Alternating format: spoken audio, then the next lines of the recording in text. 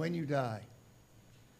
Now, maybe you're here this morning and you're younger and you haven't really thought much about that. You can't, you can't envision that. You don't need to. You think you got your whole life ahead of you. I can assure you, some of us who are a little longer in the tooth probably think a little bit more about it as we see the day drawing near. What happens when you die? If you've ever typed that question into your search bar, then you're in the company of an army of people who are wondering the same thing. Who wouldn't be curious about something that has implications for every one of us, every person alive, every person who's ever lived? Very, very few are going to walk through this life without giving some thought eventually to its end. And though we don't always want to talk about it, we are well aware of our finiteness. The specter of death haunts many. In his Preaching the Word commentary on the book of Hebrews, author R. Kent Hughes has written The fact of death, and for most the fear of death, is a relentless reality. The more our minds struggle to escape it, the more it comes against us. The more we fear it, the more dreadful it becomes.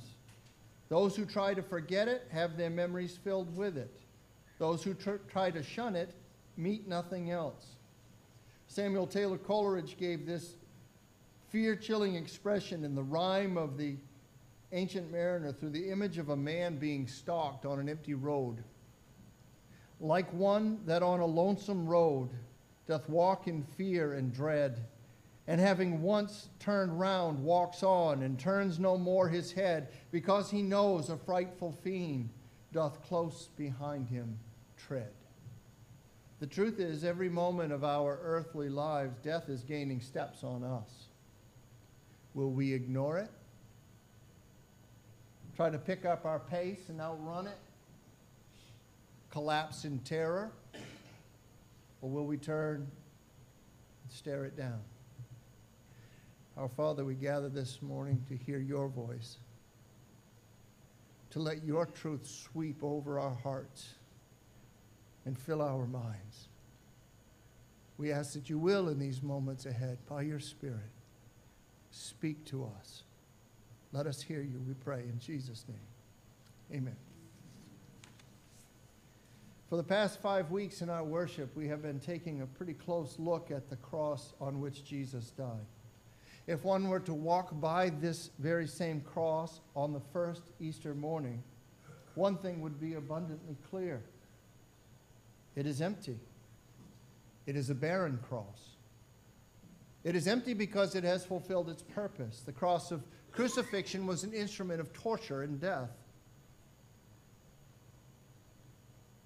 No one hanging on a cross ever came down alive.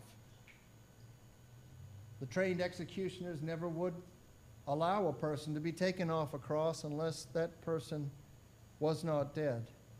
Jesus died on the cross. Now, sometimes the Romans might have left a body suspended on a cross. They would do this sometimes for days. They like to use crucifixion as a deterrent, as a, as a way to terrorize their subjects, as a sign to those who might dare to defy Roman authority. They had no problem leaving corpses on crosses, having them decompose in the sun, becoming food for birds of prey, scavengers. But it was the Jewish leaders who wanted Jesus' body taken down. He died on the day of preparation. They didn't want his body hanging up there through the Sabbath. So a man named Joseph of Arimathea, who was well off and had a garden tomb, asked Pontius Pilate for permission to take the body of Jesus. Now, Joseph of Arimathea seems to pop up here out of the blue, but we find with a little flipping through scripture, in fact, that he was a respected member of a group known as the Sanhedrin the Jewish council. He was also one who believed in Jesus, but the Bible tells us he did this secretly for fear of the Jews. Well, now his secret is out. He is aligning himself with Jesus. He will take the body of our Lord and put it in his new private tomb. He and another secret disciple whose name you might recognize, Nicodemus. They might have come late publicly to the side of Jesus, but they did come. And I want that perhaps to inspire you today. let that inspire those of you who may not have come to the Lord yet and who now are thinking, well, there's really no sense in this. There's no gain in believing any of this stuff. I've lived without it my whole life. There's no sense for me to come along now. I've kind of wasted my life on myself and done my own thing. I can't imagine that God would want anything to do with me. I want to challenge that a little bit. If you're asking, why should I bother to come to Christ now? And I want to say that the thief on the cross beside Jesus will meet you in paradise and will explain it all to you.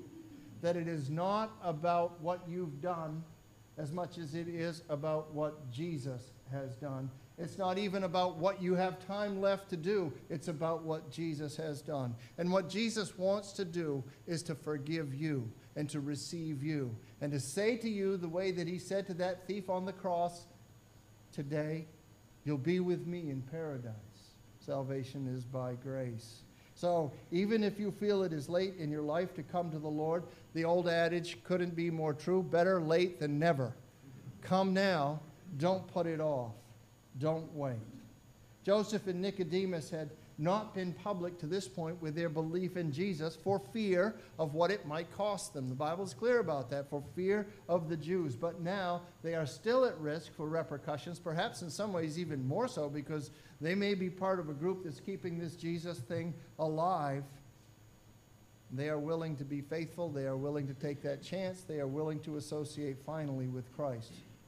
Will you? It was getting on in the day. The body of the Lord was quickly wrapped up in a sheet of sorts, and it was laid to rest in this tomb hewn out of a rock. A large stone was rolled in place to seal it. Christ had died, and now he is buried. After the Sabbath, Jesus' body would be properly anointed for burial. So the cross is empty. The cross is empty because it has served its purpose. But we must understand it has not just served the purpose of the intentions of Christ's jealous false accusers or these spineless uh, politicians who are complicit in his death.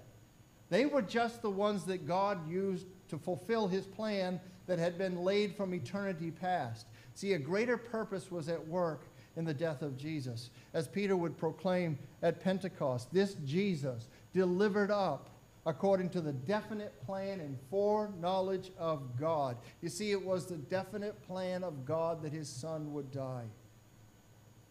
Nearsighted humans in that day thought they were just getting rid of a nuisance, of a competitor, of a challenge to their authority. In fact, God was intending to rid all who would believe from the power of consequences and consequences of sin. The cross on Sunday is empty because it has served God's purpose. Jesus has been crucified to pay for the sins of the world, to pay for your sins, to pay for my sins. The cross is not the only thing empty on that day.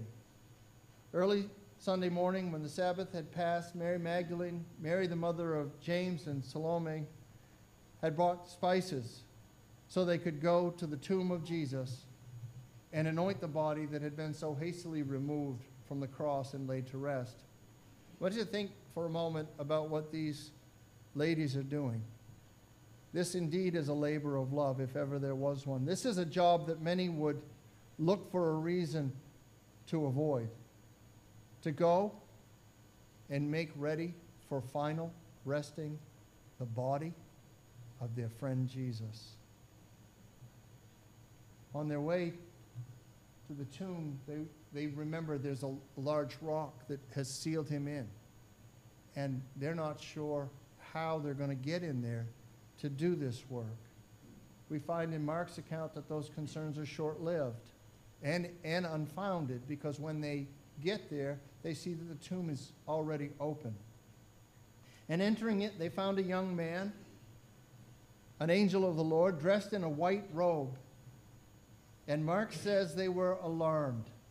And this is one of these places where the, the English language really doesn't give full import to the original. That sometimes the Bible has these little, they're understatements. I mean, can you imagine what it must have been like for them to go, to think that they're going to anoint the body of Jesus, to find the tomb open, to walk in it, to find it empty, save some guy sitting there in a white robe, some angelic being. And, and, and Mark says they were alarmed. But let me tell you, that word means is somewhere between astounded and thrown into terror. That's what it means, literally. And that's what it was like for them. They are afraid about this. They are afraid, but the young man sitting there simply says to them, Don't be. You don't need to be. You seek Jesus of Nazareth, who was crucified. He has risen. He is not here. See the place where they laid him.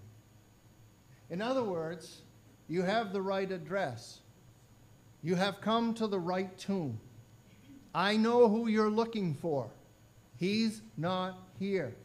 And the reason that he's not here is because he's risen from the dead.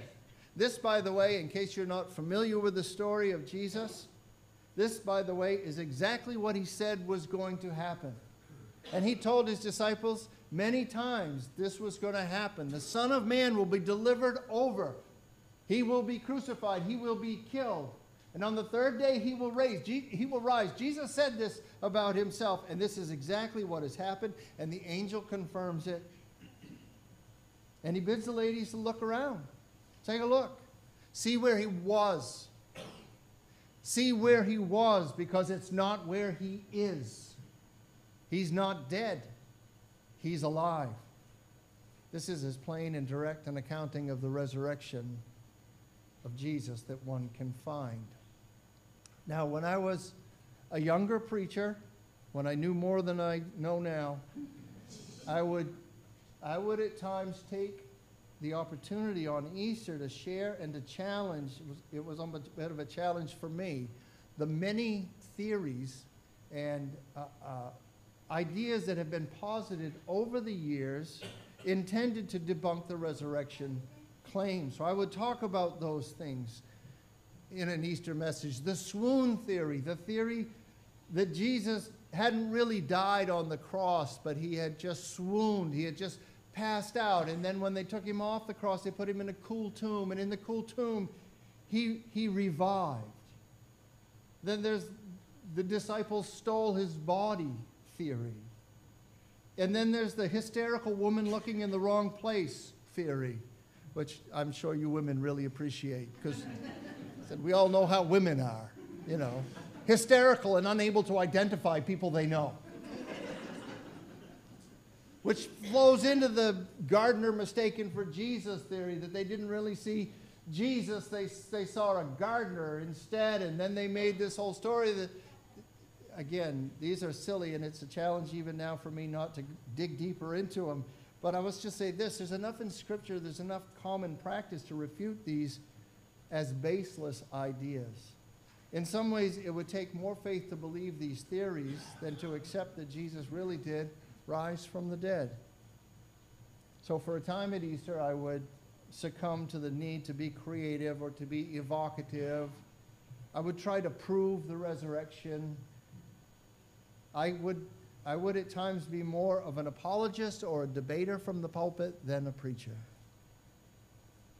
But John Stott helped me get over this he wrote a little book called The Preacher's Portrait. He lays out the preacher's job, what it is a preacher is supposed to do, and what a preacher ought not be doing. And he writes this He says that preachers are stewards of the mysteries of God. The metaphor of stewardship, he writes, reminds us that preachers do not supply their own message, they are supplied with it. Stewards were not expected to feed the household out of their own pocket. In the same way, preachers are not expected to rely on their own ingenuity when it comes to their message. We are to preach the Word of God and nothing else. So, what does the Word of God say about Easter? The Word of God says that Jesus rose from the dead. What does the preacher preach on Easter? By, oh my goodness, some of these people, you know, they're going to think this is the only thing I know how to talk about. I have to come up with something new. I have to come up with something different. I have to find a different. No, what is a preacher supposed to preach about on Easter? Jesus rising from the dead. Now, one either accepts that that is true, that it, because it is the Word of God and because the Holy Spirit has done that convincing work already in a person's heart or one rejects it and, and does so for a number of reasons. There are any number of reasons for people to reject it. In church, we believe it. As Christians, we believe it. On Easter and pretty much every Sunday, we proclaim it. The tomb in which the crucified Jesus was laid to rest on Friday was empty by Sunday morning because Jesus had risen from the dead. What does that mean? How does it translate, does it? I want to finish up by considering a few of the implications of Christ's resurrection. First is this Jesus is not only alive, he is alive forevermore. Alive forevermore. Consider how Jesus introduced himself to John in the book of Revelation, chapter 1, verses 17 to 18. He said, Fear not, I am the first and the last and the living one. Okay? But get this I died, and behold, I am alive forevermore. You may have a translation that says, I was dead. I was dead, but I'm not dead anymore. I am alive, in fact, forevermore. And I have the keys to Hades and death. Jesus was not like his friend Lazarus. Remember that story? Jesus raised his friend Lazarus from the dead, but Lazarus was raised only to die again. The risen Christ will never die. He ascended into heaven after 40 days of post resurrection appearances on earth. Jesus is alive forevermore. He is seated, the Bible tells us, at the right hand of the Father. What is he doing? He is interceding even now for his church, dear ones. He's going to bat for you. That's what he's doing in heaven. One day he's going to return and he's going to gather us all to himself. Evil will suffer a final, debilitating, ultimate blow. And it will be banished from all of our existence, and God and man will live together in a new heaven and a new earth. Jesus is not only alive, he is alive forevermore. He is a conquering king. Also, because he lives, others will live. The resurrection of Jesus, we read in 1 Corinthians 15, is the first fruits, the first fruits of those who've fallen asleep, that is, those who have died. Jesus' resurrection is the pledge. Jesus' resurrection is the earnest. Jesus' resurrection is the promise of what awaits, that a trail has been blazed, that the resurrection of the faithful will come. That is why he could tell his disciples in John chapter 14, Yet a little while and the world will see me no more, but you will see me. Because I live, you also will live. In chapter 11, verses 25 and 26 of John's Gospel, Jesus is speaking and he says this I am the resurrection and the life. Whoever believes in me, though he die, yet shall he live. And everyone who lives and believes in me shall never die. Do you believe this? That's an important question. Do you believe this? That Jesus is the resurrection and the life. And that if you believe in him, even though you die, because Jesus is not saying that you won't die, this physical body won't go away. He's saying just that if you do, when you do, you're going to live. Do you believe it? And of course, a verse that we're all familiar with, probably John 3 16. I give it to you this morning in the KJV, the way that I learned it. For God so loved the world that he gave his only begotten Son, that whosoever believeth in him should not perish, but have everlasting life. Because he lives, others will live. Eternal life is the gift of God to those who believe. I want to talk just a second about this idea of believing because sometimes in our culture, especially, it seems that we get it wrong. The belief that the Bible talks about is more than an acknowledgement of an historical person named Jesus, that he existed in time and space. It is more even than trusting that Jesus is God. Because you hear this, people say, "Well, yeah, I believe, I believe that Jesus. Yeah, I believe Jesus," and even say, "Yes, I believe that Jesus was God." But it's more than even that. James reminds us that the demons believe and shudder. They know that Jesus is God, and it doesn't save them. So it's more than a mental assent that Christ existed. It's more even than a believing that he is God. It is believing that he accomplished what he said he came to do, which is to give his life a ransom for many, or to give his life for you, for me. It is receiving by faith what Christ did on the cross when he shed his blood so that your sins could be forgiven, when he paid your price on that cross of death. He did what he said he would do. So when the Bible talks about believing, that's what it's talking about. Believing in that, that Jesus died for me, that Jesus paid the penalty for me, that Jesus' perfect record, he never sinned, he was always obedient, he's way different than me, is attributed to me by faith that his atoning death satisfied the just wrath of God that God has against me. Jesus paid for my rebellion. He died for it. And his resurrection from the dead is the public proof that his Father accepts his sacrifice. And so the scripture tells us that he has overcome the power of sin and death. Death and eternal separation from God no longer have the last word.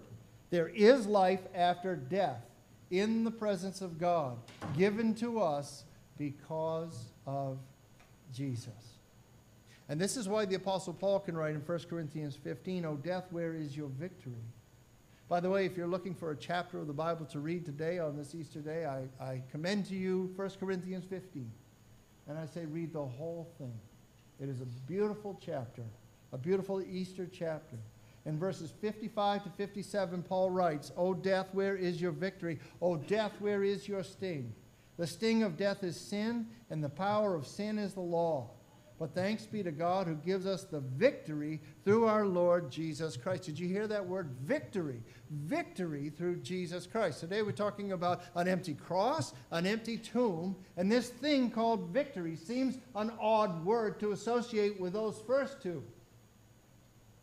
Because on the Friday Jesus died, the cross would, was not looking like victory. In fact, it could not have looked more like defeat. A cross with the Son of God suffering and hanging on it could not have been more depressing, could not have been more disillusioning, could not have been more definitive. The hopes of all that were pinned on Jesus died when he died pinned on a cross. Likewise, the tomb is such a symbol of finality. It signifies the end of life, a battle lost. How many times do you read in the obituaries over and over again about this lost battle? She lost her battle with. He lost a hard fought battle with. We know that death and the grave signifies a loss.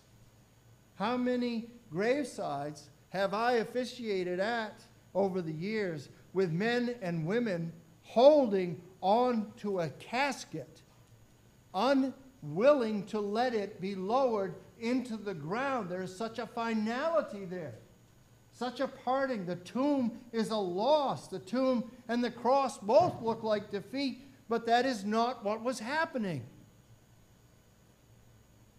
That was not the plan, and that is not reality. Our Savior displayed on the criminal's cross. Darkness rejoiced as though heaven had lost. But then Jesus arose with our freedom in hand. That's when death was arrested and my life began. Newsflash in an amazing turn of events, God snatches victory from the jaws of defeat. And not just a victory for Jesus. He knew this was going to happen. I'm sure he was quite pleased about it. Well, he should have been. But not just for him. He was killed and buried and brought back to life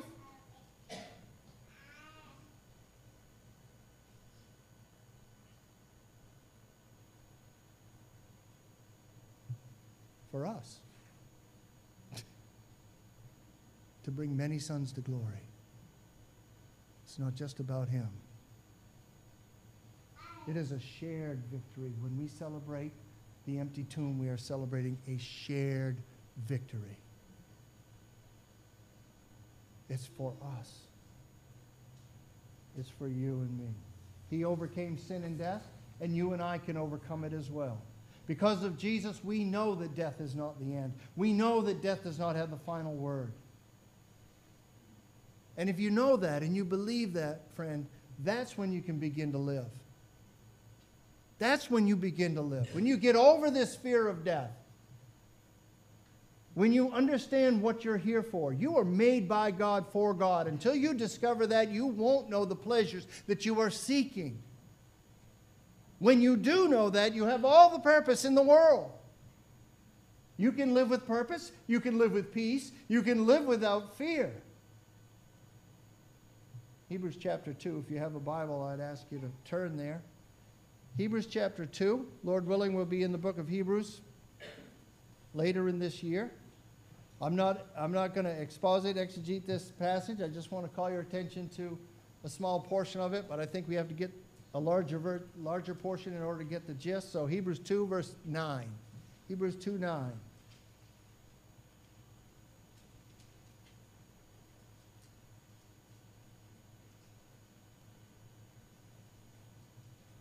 But we see him who for a little while was made lower than the angels, namely Jesus, crowned with glory and honor because of the suffering of death, so that by the grace of God he might taste death for everyone. For it was fitting that he, for whom and by whom all things exist, in bringing many sons to glory, should make the founder of their salvation perfect through suffering. For he who sanctifies and those who are sanctified all have one source. That is why he's not ashamed to call them brothers, saying, I will tell of your name to my brothers in the midst of the congregation. I will sing your praise. And again, I will put my trust in him. And again, behold, I and the children God has given me. Since therefore the children share in flesh and blood, he himself likewise partook of the same things, that through death he might destroy the one who has the power of death, that is, the devil, and deliver all those who through fear of death were subject to lifelong slavery. So it's just this last verse that I want to call your attention to this morning that speaks of the life, what the life, death, and resurrection of Christ accomplishes. Through it, he destroyed the one who has the power of death, which is the devil. Now look, in order to deliver all those who through fear of death were subject to lifelong slavery. What the Bible is teaching us here is that fear of death keeps a person in bondage fear of death and never getting over it amounts to lifelong slavery. So I ask you this morning can you relate to this? Well, I understand. I understand some people are just going to be brave here. I don't, I don't worry about death. I never think about it. And if I did, I wouldn't tell you on a bet. I'll worry about that when I get there, people say. How much peace do you have when you get there? Can you relate to this? Do you honestly have a fear of death? The great theologian Woody Allen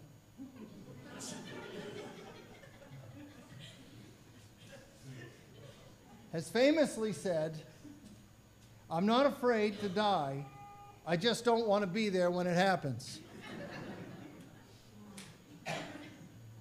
I'm not afraid to die, I'm just afraid to die. That's what he's saying. It's common concern. Nothing's wrong with you if you have that concern. But listen, it's a concern that the resurrection erases, takes away. By understanding the forgiveness of our sins that Jesus makes possible, there needs to be, and we sing this, we sing this when we sing the song in Christ alone, there needs to be no guilt in life and no fear in death. Okay?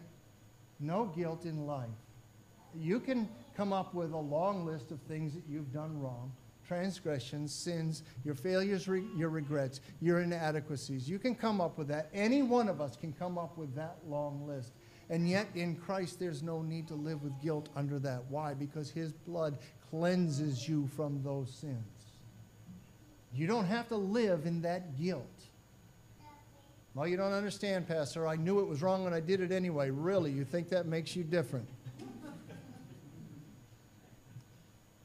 He forgives all of our sins if we ask. So, no need to live under guilt, and there's no need to live in the fear of death. Listen again to Hebrews, this time chapter 9, verses 27 and 28. And just as it is appointed for man to die once, and after that comes judgment. And I'm going to just pause here just for a second and say, because I realize that today there's, there's some with us who, who don't really believe in the Bible, who don't think it's God's Word. And I, just want to winsomely challenge you this morning.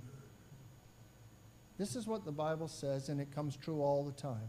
It is appointed unto man to die once. We don't know anybody in our circle of friends that has escaped this sentence. It's coming to all of us. But the piece that you may want to think about after that comes judgment. That is to say, the Bible says God will judge you. How will you fare in the judgment? And whose record will you take to stand before the Lord? If you're not going to receive him or his word or the forgiveness that he offers, then you are choosing to stand before God on your own merit. And I don't think there's anybody who honestly in this room would say that's a good idea. That I have done so much that I deserve heaven.